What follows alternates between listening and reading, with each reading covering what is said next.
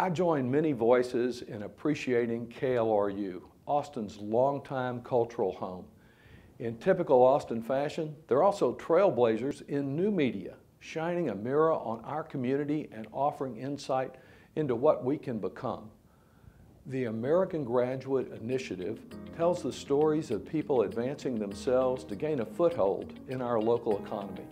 It highlights those training for high demand jobs that require specialized skills and a certification in many cases rather than an advanced degree. As trusted storytellers, KLRU videos focus on a cross-section of our local workforce.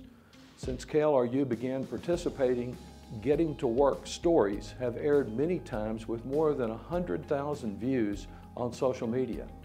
In our changing economy, we all have an opportunity and a responsibility to support our local workforce to meet this economy's many challenges and new horizons. Our instrumental local partners include ACC, Del Valle ISD, Hays CISD, the Austin School District, United Way, and Mayor Adler. Thank you to those who lift up these stories, so worth sharing. And thanks to those who are away from the cameras are still expanding opportunities every day.